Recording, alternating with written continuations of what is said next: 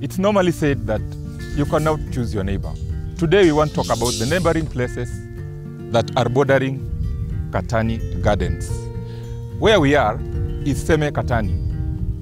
Uh, on my right, I think around uh, 500 meters, you can have a, an access to Airways, Utawala. We also have an access to Zebra in Utawala. Uh, on this side, we have Syokimau, and then we have uh, an area leading to JKIA. So by investing in uh, Katani Gardens, you have a very good neighborhood, well developed, and we welcome you. So call the number below and let's have a chat about Katani Gardens.